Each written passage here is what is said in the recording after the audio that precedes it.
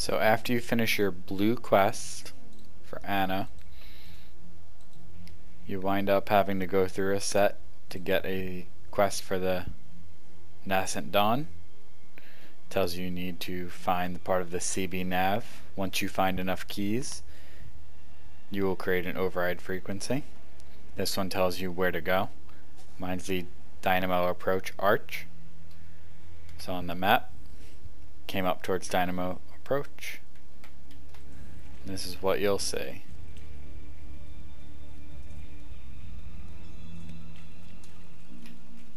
First cue is the noise that I'm close by. And it's open.